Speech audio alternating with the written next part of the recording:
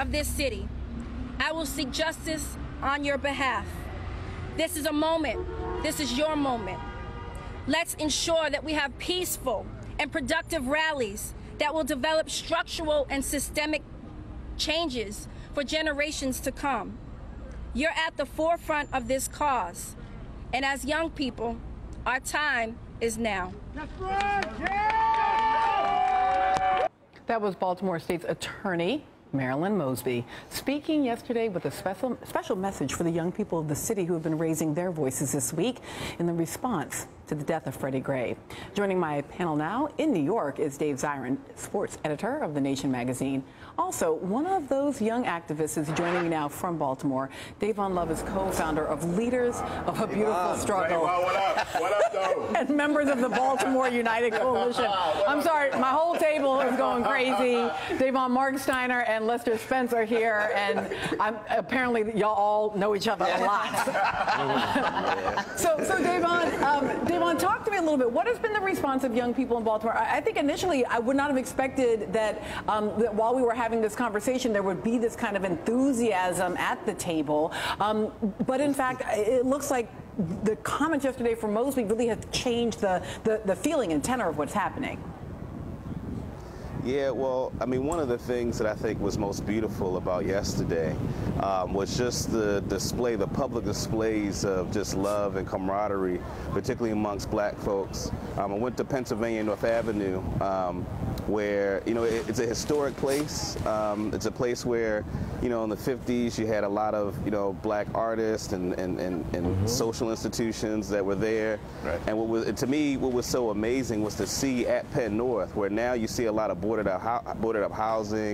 You see a lot of the problems that people associate with urban America. But what you saw, what you saw black people out in the streets, you know, celebrating, you know, hugging each other. You know, we mm-hmm. actually went out there and were uh, giving away food um, and giving away pamphlets that um, had information about how to deal with law enforcement. Um, you know, just talking about the work that we're doing and getting people's information.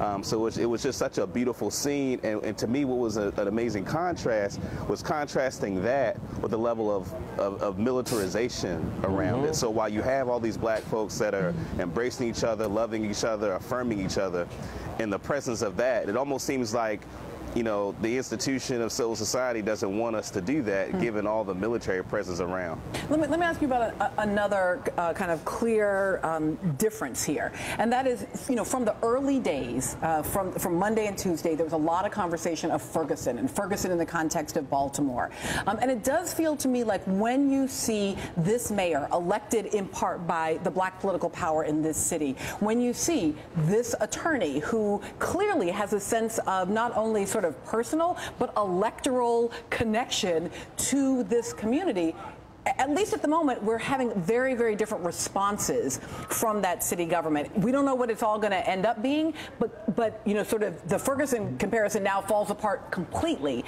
And I guess I'm wondering how you um, how you build on that in the activism, the kind of ongoing activism that will go on after the cameras leave.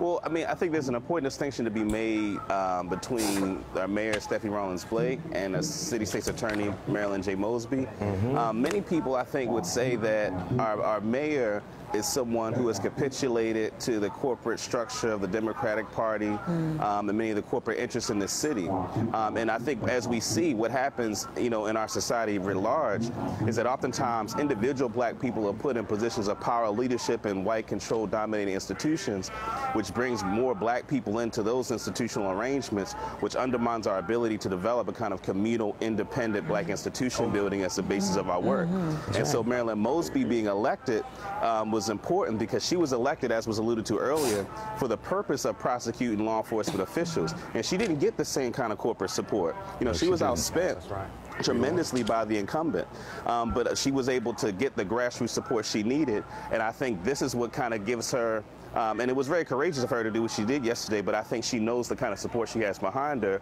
um, and that's important. That's an important contrast. And I think if I could just say something else really quickly, because um, I think the Ferguson comparison is important, because I think people reduce racism to individual, mm -hmm. you know, white folks in leadership, black people who are succumb to white folks, and I think Baltimore shows the sophistication of white supremacy and how it operates, how it takes black figures, put them in institutional positions to give the veneer of justice when really the same institutional arrangement exists.